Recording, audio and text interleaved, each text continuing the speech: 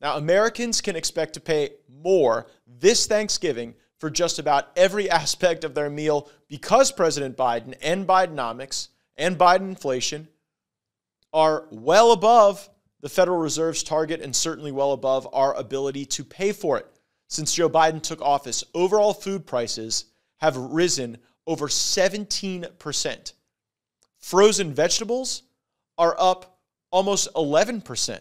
Uncooked beef steaks up almost 11%. Even the sauces and gravies. You don't think about those being a major cost driver of Thanksgiving, but sauces and gravies are up 7.5%. Uncooked turkey up about the same amount, 7.2%. White bread up 7.1%. And there are so many concerning facts about the Biden economy. The consumer price index, a key inflation indicator, rose at an increased annual rate of 3.2% in October. And keep in mind, though the rate of inflation may be slowing, it is stacked. So all the inflation we've already endured has not been remediated or diminished. So when you hear the White House talk about less inflation, what they cannot tell you is that it is resulting in lower prices. Lower prices. That's what the American people want. And the prices are artificially high, not as a function of some uncontrollable global feature, but the direct policy choices that Joe Biden and his government have made. So according to a recent AP poll, about two thirds of adults say their household expenses have risen over the last year. 73% describe the national economy as poor. If 73% of the people are saying that the national economy is poor, I wouldn't be running on Bidenomics. It's not working for three out of four Americans. And a recent study published by Bankrate shows that just 21% of Americans think that their financial situation has improved since Joe Biden became president, around one in five.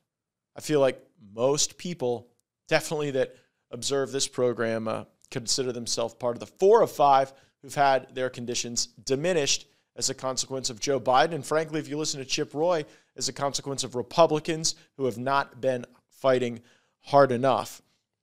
So, what should we be fighting for?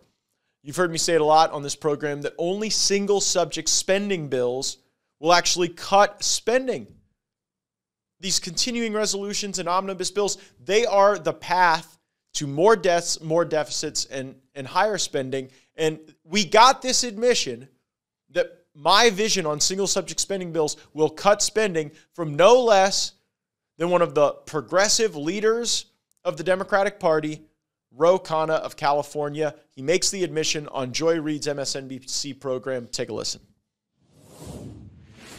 Most speakers last for years. Matt Gaetz has literally said essentially Mike Johnson has seven months to reduce spending to each bill everything one at a time, which is madness. It's madness, and it is reducing spending that is going to hurt working families.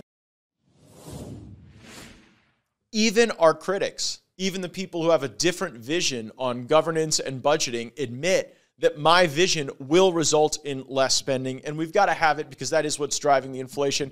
And it, it harkens back to remember that July 4th tweet that the Biden White House put out previously? Oh, yes, we've got it on the screen there. Yes, a 16 cent decrease in the cost of all of those food stuffs and goods. So, 16 cent decrease.